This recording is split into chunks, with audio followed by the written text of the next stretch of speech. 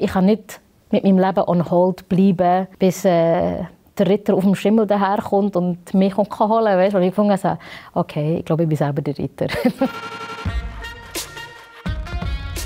hast du eine hypochondrische Ader? Gar nicht. Gar nicht? Nein, eigentlich nicht. Ich fühle mich meistens gesund. Und äh, wenn irgendjemand von Krankheiten redet oder so, tue ich es nicht auf mich beziehen und denke so, oh, das könnte ich bekommen oder so. Also zum Glück kann ich das nicht. Von dem haben mich auch noch ganz viele Leute gewarnt, dass wenn ich jetzt diesen Job mache, dass ich doch jetzt offensichtlich ein Hypochonder müsste werden. Das glaube ich jetzt weniger. Ich glaube, das ist eine mega gute Grundvoraussetzung, dass du diesen Job kannst machen kannst.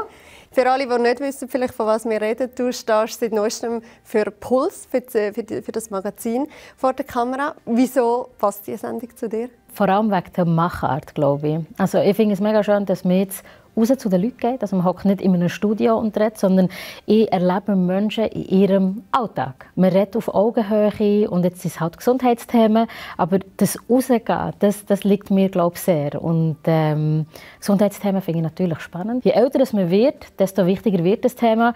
Nicht zwingend, weil man jetzt selber irgendwie darunter etwas, äh, unter etwas leidet, sondern weil man merkt, so, hey, äh, die Älteren werden älter, da kommen wie so einzelne Themen auf und, und im Umfeld hört man wie mehr Sachen.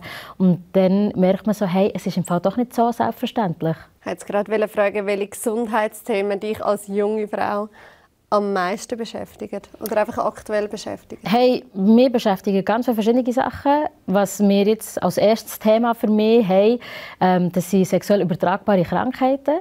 Und das glaube ich, das ist ein sehr ein junges Thema, gerade im Zeitalter von Dating-Apps und so. Mhm. habe ich das Gefühl, die Leute müssen noch mal ein bisschen genauer aufgeklärt werden, mhm. weil es ist erschreckend, wie wenig Bescheid man weiß. Und wegen dem finde ich das jetzt zum Beispiel ein, ein tolles Thema, das auch für mich eine Überwindung ist. Man redet ja nicht so offen äh, darüber. Man hat so ein bisschen Hemmungen. Aber dann habe ich gefunden, wenn man so einsteigt mit einem Thema, das ein bisschen schwieriger ist, ähm, kann man wirklich so ja, es einsprechen. Genau, dann kannst du wie über alles mhm. reden. Oder? Wann hast du für dich jetzt in deinem Leben vielleicht das erste Mal so richtig realisiert, wie wichtig Gesundheit eigentlich ist? Anfangs 20 hatte ich mal einen Hexenschuss. Mhm. und das ist für mich so, was, wie kann man als so junger Mensch einen mhm. Hexenschuss haben? Was läuft falsch? Und dann konnte ich die Stege nicht darauf gehen. Ich bin wirklich fast gestorben von Schmerzen. Und als das dann wieder ist gegangen habe ich gejubelt und dachte, wow, ich kann steigen drauf und ab. Und das war für mich bis zu diesem Punkt immer selbstverständlich gewesen und nicht etwas, was ich einmal würde hinterfragen Und dort habe ich gemerkt, okay, jetzt, jetzt wird es langsam ein Thema. Also. Jetzt hat doch jeder von uns so ein bisschen eine körperliche Schwachstelle, die angeht, wenn man eben sich vielleicht zu wenig bewegt oder yeah. wenn es ein bisschen zu viel ist. Alles gerade. Mhm. Was ist das bei dir? Der Bauch. also ich bin, ich bin jemand, der sehr gerne Zucker hat und das sammelt sich bekannterweise einfach gerne mal im Bauch an. So. Und nicht nur wegen dem Optischen oder so, wo ich am meisten Mühe damit habe, sondern auch mit dem Gesundheitsaspekt, weil ich weiss, hey, das sind so Sachen, die äh, schlecht könnten laufen, wenn du dich nicht jetzt darum kümmerst. Also du meinst nicht den Bauch im Sinne von das so Magen, es gibt ja mega viele Leute, die wenn Stress haben, haben sie irgendwie so ja. Magenprobleme, sondern mehr ah, nein, Fett. lagert Fett, das sich ansetzt, ganz einfach. wo einfach nicht gut aussieht und zweitens einfach so ein bisschen Angst oder Respekt macht, weil ich denke, ja. also, hey, wenn ich so ja. weitermache, könnte ich irgendwann vielleicht mal Diabetes Typ 2 haben oder so. So, so, so Sachen, wo du weißt, ah, mhm. könnte gefährlich werden mhm. für die Leber, für die Nieren und all das Wie haben eure Eltern euch erzogen, was jetzt Gesundheit betrifft? Ist da geschaut worden, dass ihr euch bewegt und dass ihr gesund esst und so? Wir sind recht eine bewegungsvolle Familie. Also also unsere Stärke ist so das Kulturelle, aber Sport haben wir als Familie nie gemacht. So das Maximum ist so ein Spaziergang. Ja. Meine Mitschüler sind irgendwie mit der Familie auf so Velotour gegangen oder Skifahren und wir haben nie so Zeug gemacht. Nicht ja, oder wandern. Auch, äh, ja. niemals. Nicht. Aber ich muss sagen, meine Mami ist top, was das Kochen betrifft. Also, äh, man isst sehr viel Gemüse. Ähm, weißt du, man sagt ja möglichst einen farbigen Teller. Mm. Jeden Tag. Deine Familie ist 1985, stimmt das, von ja. Sri Lanka in die Schweiz gekommen. Zuerst aber eigentlich nur deine Mami mit deinem Bruder. Wieso yes. ist sie allein? Gekommen?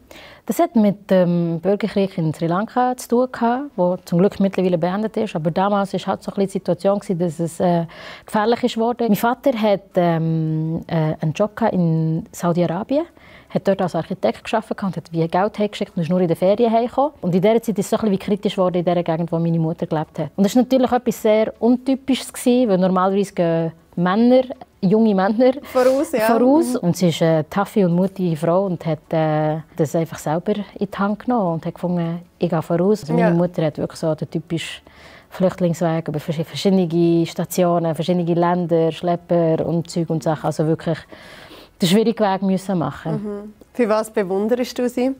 Meine Mami bewundere ich für, ähm, für, ihre, für ihren Mut und für ihre Unabhängigkeit, glaube ich.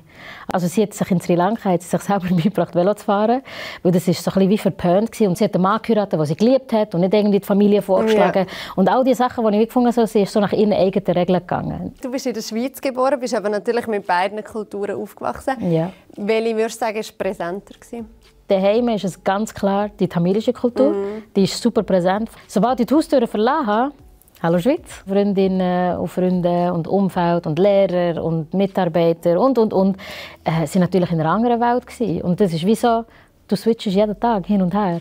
Es hat schon Momente gegeben, wo ich mir gewünscht hätte, so, hätte ich nicht einfach in Sri Lanka können aufwachsen oder könnte ich nicht einfach eine Schweizerin sein, dann wäre doch so viel einfacher mhm. und, und ich müsste mhm. wie nicht immer, immer wie doppelt Gedanken machen, was jetzt okay ist und was nicht. Es ist ein Leben ähm, mit verschiedenen Facetten mhm. und es sind beide genau gleich präsent und gleich wichtig. Ja. Welche tamilischen Traditionen sind so sehr präsent gewesen, oder mit welchen bist du so tagtäglich aufgewachsen? Familie, Familie, Familie. Yeah. ich habe das Gefühl, in der Schweiz denkt man viel für sich als Individuum, was auch schön ist, oder dass man sich entfalten darf und seine eigenen Wünsche und all das. Mhm. Und äh, in der tamilischen Welt denkst du viel mehr als Rudel, sage ich jetzt mal. Bist du ein Rudeltier heute?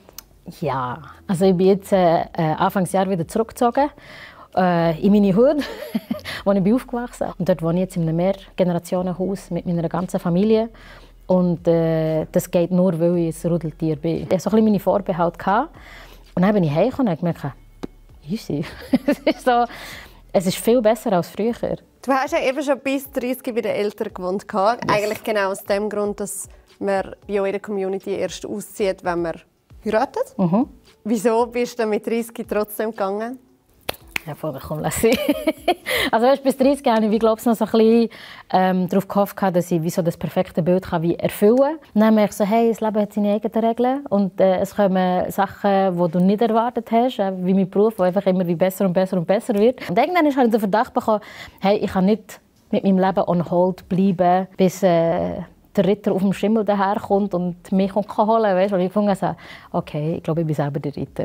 muss ich mal so mein Leben lang. Ritterin. Und wie war das für deine Eltern? Weil du hast ja in diesem Moment wahrscheinlich schon ein bisschen mit dieser Tradition abgebrochen. Ja, voll.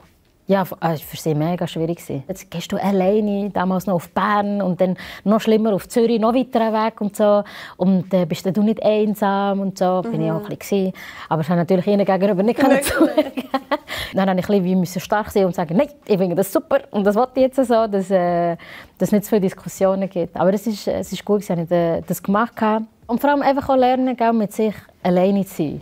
Und nicht immer, sobald irgendwie der leiseste Anflug von Langeweile gehst du zu deinem Bruder oder zu deinen Eltern oder weißt so, dass mhm. immer jemand da ist und so lernst. Mhm. Einfach, es, es ist auch total okay, wenn es mal ruhig ist. Ich bin ein geselliger Mensch mhm. ähm, und alleine sein ist, ist eine mega Herausforderung ja. für mich. Ja. Und das ist gut, dass ich das äh, erlebt und auch gelernt. Wenn Sie jetzt vorher von so ein bisschen mit Traditionen brechen und eben rebellieren, wie war das als Kind? Gewesen? Ich nehme an, du hast nicht die gleichen Sachen dürfen, wie deine Schulgespönli immer haben dürfen. Im Jugendalter war es am schwierigsten. Hat es Abschlussbau, gehabt, wo ich nicht mitmachen konnte, oder irgendwie ein Jugendtreff gehen, oder irgendwie ein Skilager gehen. Das hat mir total gefällt. Und meine Eltern haben mich damals beschützen, weil sie nicht gewusst haben, was das ist. Das war nicht so cool. Da, da, da wünschte ich, hätten meine Eltern wie so ein bisschen mehr Einblick gehabt, was es für einen Wert hat und dass man nicht Angst muss darum mhm. haben Das war noch so komisch. Gewesen. Als Jugendliche hatte ich noch so viel Verständnis für meine Eltern. Gehabt. Ich wollte die gute Tochter sein, die Eltern stolz sein können. Und einfach auch nicht negativ auffallen, gerade in unserer Community. Mhm. Weißt, wo viel mhm. ähm, geredet wird, wo man stark miteinander vernetzt ja. und so. Und das war mir wirklich wichtig, so, der Ruf. So. Ja. Ja. Und wie war dann der Ruf, was geheißen hat, Tama zieht jetzt aus? Und hat, ist aber Single quasi. Das habe ich erst gemacht mit 30, gell? das mhm. hat wie niemand mehr interessiert. Ah, ja. Also weißt, der Fokus ist immer so auf so Jugendliche, so zwischen, sagen wir, keine Ahnung, irgendwie 15 und äh, vielleicht 3, 24. Ja. Ich glaube, der Druck war so kurz vor den 30 am höchsten. Gewesen. Ja. Dann habe ich gemerkt, also, uff, alle schauen so ein bisschen mit so, hä, kommst jetzt du auch noch? Mhm. Und ich habe den Druck selber auch mega verspürt. Und dann macht es irgendwie so, puff, und merke so, easy, jetzt kann ich mein Leben leben. Ja, ja. Und ähm, wenn es dann mal so weit ist, noch so gerne. Und wenn nicht, es geht mir doch gut. Müsste dann ein Tamil sein? Nein. Ich bin ganz ehrlich und sage, ein Tamil, wer so, wo hier aufgewachsen ist, wäre Nonplusultra. Weil, wie ich das vorhin beschrieben habe, mit diesen Kulturswitches, wird voll automatisch funktionieren mit null Aufwand, ohne dass ich es erklären muss. Wenn, wenn ich jemanden finde, der noch so sonst von mhm. Mensch zu Mensch noch mhm. passen und auch noch den Background kennt von mhm. beiden Seiten, das ist so ein bisschen wie die Idealvorstellung. Ähm, aber es muss nicht immer perfekt sein.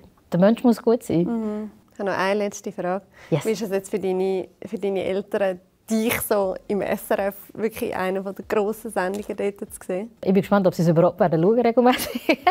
Bei ihnen ist es äh, wichtiger, dass ich ein guter Mensch bin, als dass sie irgendwelche beruflichen Sachen erzielen aber sie sind gleich stolz auf mich. Also weißt, sie ist natürlich schon toll. Also meine Mutter hat mal gesagt, also, hey, ich glaube, ich sage dir das zu wenig, aber ich finde es das toll, dass du beim Fernsehen moderierst und du bist stolz auf das. Das war wie so balsam gewesen, weil tabilische Eltern sagen nicht, dass sie stolz auf dich sind. Sie, sie fordern immer mehr und finden so, ja, da kannst du noch ein bisschen und das kannst du noch ein bisschen besser machen. Ja. Und das ist richtig schön gewesen, um mal wieder zu hören, dass, äh, dass sie stolz auf mich ist. Und von dem her habe ich das Gefühl, die, die finden es glaube ich nicht schlecht, dass ich jetzt das machen darf. Ich wünsche dir ganz viel Freude und ganz viel Erfolg beim Ankommen in der neuen Sendung. Und mega Merci schön, dass du da Danke viel, viel, viel mal.